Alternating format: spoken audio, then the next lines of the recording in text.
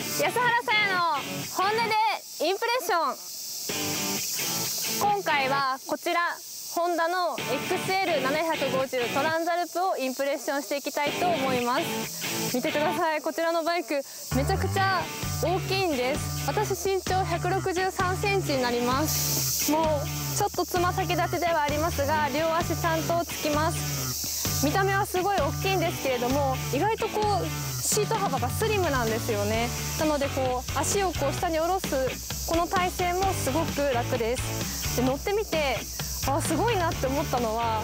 このバイクものすごく姿勢よく乗ることができるんですよ。なのでこのままこうハンドルを握ってもらうと肩までこう上がるわけじゃなくてすごい自然な位置でこう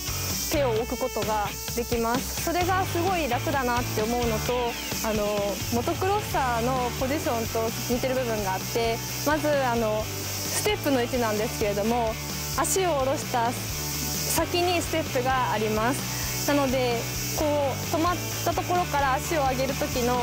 この動作が非常に楽だなって思いました。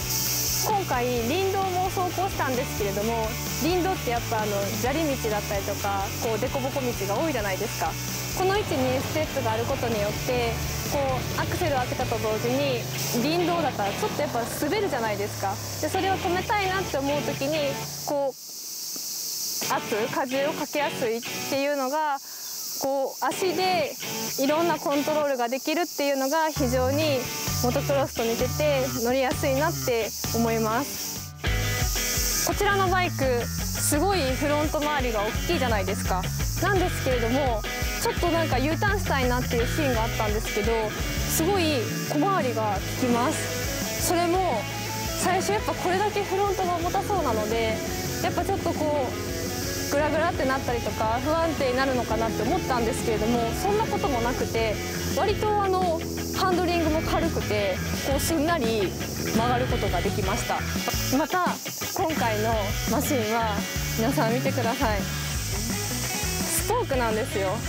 このスポークがねやっぱり私たちモトクロスライダーとしてはこうオフロード感を出してくれてる要素の一つかなっていうところで、まあ嬉しいかなって思うのとあの見ての通りタイヤがすごい大きいんですよね。で今回のフロントタイヤ21インチのタイヤになるんですけれども先ほど林道を走った時にやっぱりタイヤがこう大きい分また幅もねそこそこあるのでこう設置面積が広い分だけ土の上砂利の上も安定して走行することができました。今回のこちらのバイク先ほどちょっとポジションが楽だよっていうお話させていただいたんですけれども楽な分だけ、まあ、ロングツーリングとかにも向いているんじゃないかなって思っています。でまたシートの硬さなんですけれども結構ねふわふわしてるんですよ。なので長距離を走行してても問題ないんじゃないかなって思えるぐらいのシートの硬さをしています。またこのバイクもあの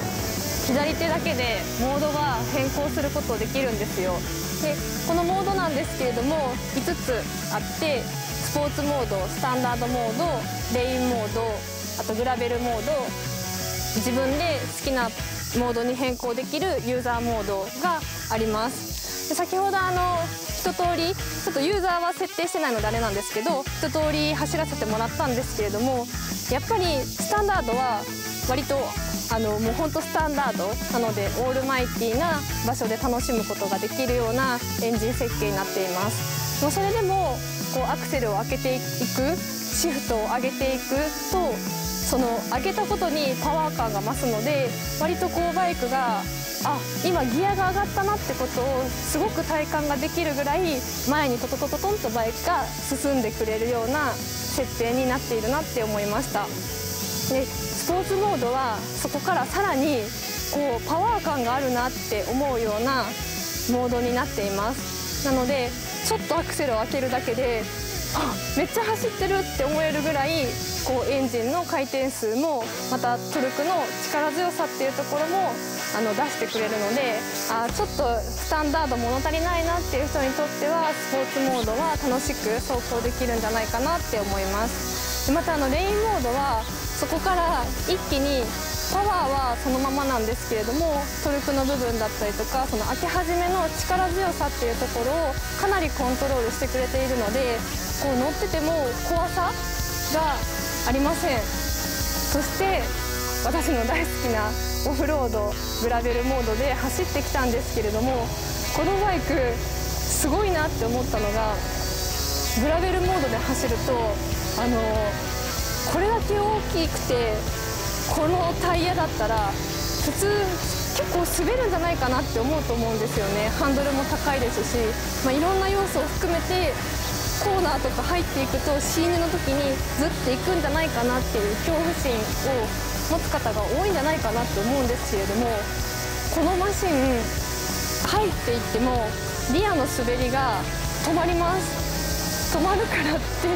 聞いたからっていきなりは絶対言っちゃダメですよ。あの最初は自分の体で体感して大丈夫かなってことを確認しながら行ってほしいなと思うんですけれども私モトクロスずっとしてたのでその感覚で行ってもあ割とちゃんとタイヤがグリップしてくれてリアのスライドが止まってくれてあ安心してオフロード林道を楽しむことができるんだなって思いました。なので非常に林道も楽しむことができるすごいいいマシンだなって思います。今回のこちらのバイクアドベンチャースタイルに該当するかなって思うんですけれどもアドベンチャースタイルの割にはこうコンパクトで取り回しがしやすいようなマシンになっています。なので初めてそのアドベンチャースタイルを楽しみたいなっていう方にとってはあの入りとしてはすごくいいマシンだなって思います。そうじゃなくてもあのかなり軽く操作できますのでアドベンチャースタイルのバイクをよりこう自分の意思で取り回しをしたいっていう方にとってもこのマシンは、まあ、いろんな意味でこう取り回しがしやすいのですごい楽しめる一台になっているんじゃないかなと思います。